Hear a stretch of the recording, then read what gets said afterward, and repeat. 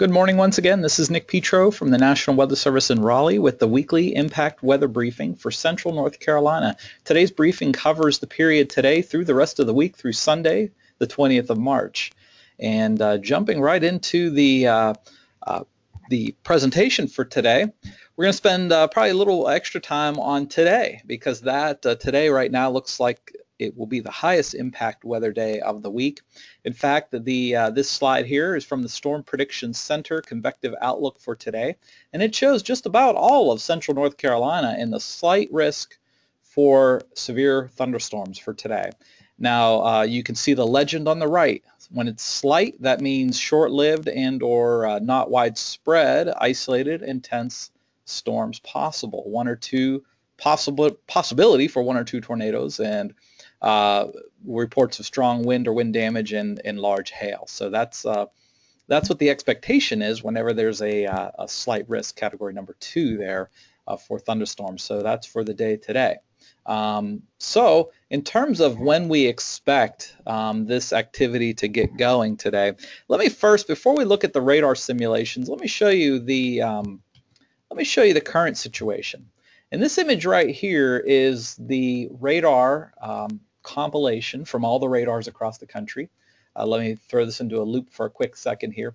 And what you can see is that uh, right now over central North Carolina, there's really nothing going on. Um, most of the uh, shower and thunderstorm activity remains uh, to our west over the Tennessee Valley and moving into eastern Tennessee. Uh, meanwhile, you'll notice uh, some clearing developing. These, the background image is, is visible satellite imagery, so we're looking at the clouds. Um, and this indicates clearing. Sun's coming out, things are warming nicely. You could see temperatures climbing into the 70s. So that warmth uh, combined with uh, dew points into the lower to mid 60s uh, sets the stage for the fuel that storms need to grow and grow tall and grow potentially severe. So, um, so you know, we are expecting uh, showers to uh, and thunderstorms to break out across South Carolina and move north uh, during the afternoon. And as they do so, uh, they should tap into some of this warm and, and, and uh, moist air mass, particularly where it's clearing out first. Um, that will allow additional heating where the sun comes out. So, uh, so anyway, jumping. So, uh, so while the radar and satellite shows things clear over central North Carolina, um, the presentation here you can see uh, back to the slides. The radar simulations suggest uh, some scattered, maybe isolated in some cases, but scattered uh, variety showers and thunderstorms developing. Again, don't use this the color coding on here particularly as an intensity gauge use this mainly as a, as a way to gauge timing. So anyway, expecting during the first half of the afternoon from 1 to 3 scattered activity, not nothing organized, but just hit or miss showers and thunderstorms, and one or two of those will have the potential to produce large hail or maybe a strong you know, wind gust, 60 mile an hour wind gust that may knock a few trees down. Uh, that'll be isolated in occurrence. So, uh, so again, hit or miss type uh, scattered showers and thunderstorms. Some of those storms strong this afternoon. Those will be exiting central North Carolina during the latter half of the afternoon. And then during the evening hours is when the potential for that activity that's currently over the Tennessee Valley uh, may get into uh, into central North Carolina, you know, out toward the west first, and then move across central North Carolina during the the middle uh, evening hours, perhaps into the late evening hours toward midnight before it finally uh, clears out uh, during the overnight hours from central North Carolina. Once it gets out of here uh, to our east, say after 2 a.m. tonight, things will be dry across central North Carolina the rest of the night. So, so in a way, kind of two two batches, if you will, uh, more scattered, isolated to scattered activity. Uh, this afternoon, and then a more potentially organized uh, band of showers and thunderstorms this evening.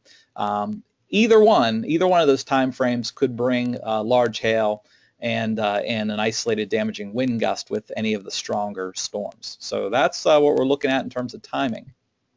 So that's for today. Looking at the rest of this week's pattern, um, we do have, of course, today's system moving through. Uh, tomorrow should feature fair weather with high pressure setting, setting up over the area briefly. Uh, there's going to be another cold front that's going to approach from the west on Wednesday and move across uh, later in the day Wednesday, although most of the models show this cold front the one you see there in the midweek uh, time frame should move across central North Carolina dry. Um, most of the models don't show any rain with that cold front. So, you know, we call those a dry cold frontal passage. Um, but however, as that front stalls to our south in the late week period, wouldn't be surprised if a stray shower lifts north of that front and, and crosses uh, central North Carolina, maybe during the Thursday time period. Um, but again, that would be uh, low impact, uh, very isolated in nature. In fact, most of central North Carolina should be dry during the entire midweek period into Thursday and even Friday.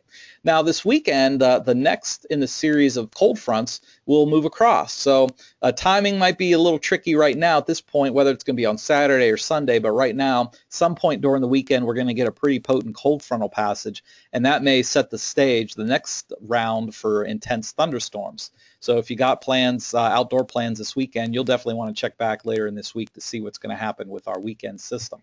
Uh, looking uh, real quick again at the Storm Prediction Center uh, today, we have that slight risk, but then as we get into Tuesday and Wednesday, really, um, you know, dry across our area.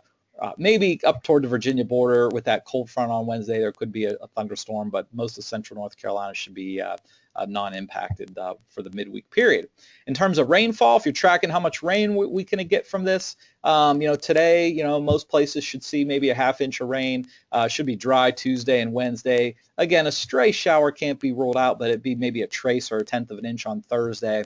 And then again, what you see Saturday and Sunday, not sure if that's going to fall Saturday or Sunday, but uh, but we do have the next cold front uh, and, and thunderstorms uh, potentially uh, coming in with that over the weekend. So uh, that's what it's looking for rainfall. As we look ahead to the next week, um, we're basically looking at near normal temperatures and precipitation for the next week. So that wraps up the weekly briefing. Um, so to summarize it all, scattered um, thunderstorms are expected to develop this afternoon and uh, you know one batch coming through in the afternoon, scattered variety, and then a perhaps a little more organized band of showers and thunderstorms this evening. Some of those thunderstorms may become severe with large hail up to two inches in diameter and damaging wind gusts. Uh, um, you know, uh, more more than likely producing a few down trees uh, here and there.